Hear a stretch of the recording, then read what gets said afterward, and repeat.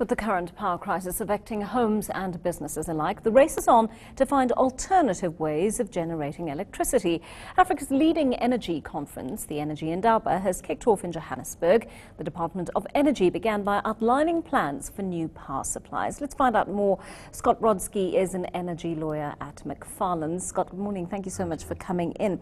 You know, we accept power cuts are here to stay, of course, but we've also had a lot of proposals from the private sector in the last few weeks for, for more structured timetable of outages. Are we likely to see any progress in that direction at the Indaba? Thanks, Joanne. Um, there's no doubt that there's a power crisis in, in South Africa and across Africa at the moment. As you say, we see it every day in, in the load shedding. Um, it was a, a, key component of the President's State of the Nation address uh, last week. Yesterday, the Director General of the Department of Energy spoke on behalf of the Minister to uh, also emphasize the need for solutions, including solutions, alternative solutions such as renewable energy. Um, and we've seen those solutions starting to come online in the last few few years, and they can make a real uh, impact and a, and a real difference that will hopefully over time help to reduce the load shedding. But unfortunately, there's no immediate short-term fix that's going to sort out the load shedding within a matter of days or weeks. Is there a way of accelerating the introduction of independent power producers onto the grid? Well, the, the, the, the government here introduced the Renewable Energy Independent Power Producers Program in 2011. Since then, there's been three successful bidding windows. Um, uh, that, have, that have gone very well. 1,500 megawatts and dozens of projects are now producing energy and feeding it into the grid.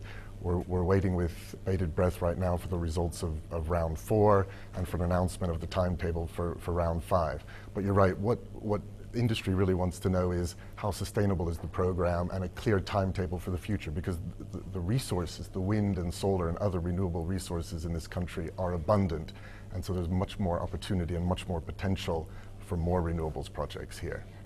Talk to us about how cogeneration fits into this, the rest of this puzzle. Sure. Well, co- cogeneration is, is also on the cards for, for South Africa, and announcements have been made. We're waiting for the program to be formally launched.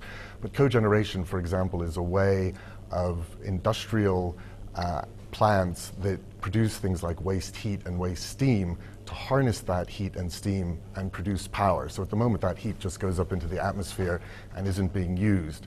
But there's, there's technologies that allow that to be captured, turned into power, that can again help towards alleviating the, the shortages that we're experiencing right now. Scott, uh, something that has been mentioned is, is the importance of regional integration in building a reliable power supply. How yes. important could that be for South Africa if we manage to achieve it? No, absolutely. I mean, there is currently some integration. There is a, um, there are some transmission and distribution networks across the Southern African region, um, but they are limited, and there is a limited trading power pool. But there's much more that can be done. And that again will not be a short-term solution, but over the over the coming years, that can help alleviate shortages because other countries, if they have an excess of power, they would be able to export it to South Africa and we would be able to use it here. And likewise, when there's extra power here, we would be able to export it to those countries. Scott, finally, I have to ask you, we, we know that Russia's Atomic Energy Agency, Rosatom, is, is at the end. Indaba. We understand some of our, our technicians have already been sent to, to Moscow to, to learn uh, nuclear power generation. From what you've learned about this agreement and what's in the public domain so far, is this going to be beneficial to the country? Well, nuclear, of course, is a, is a complicated issue. It's not without its, its, its challenges. Um, but yet some countries, such as France, for example, have 75% of their power generation from nuclear. So in the right circumstances, it can uh, provide a, a lot of, of, generation capacity. But again, it's not a short-term solution. We're looking at 10 years or more before we see any new nuclear capacity on the grid here in South Africa, whereas things like renewables can come online within a space of one to two years. I mean, we, we, we think back, we can't help but think back to, to the Japanese tsunami, to Daiichi and Fukushima. W would South Africa be able to cope with that kind of crisis? Well, as you, you, mentioned Fukushima, and it's interesting in Japan, they have, as a result of Fukushima, decided not to pursue further nuclear plants uh, and to replace their existing nuclear capacity with renewables.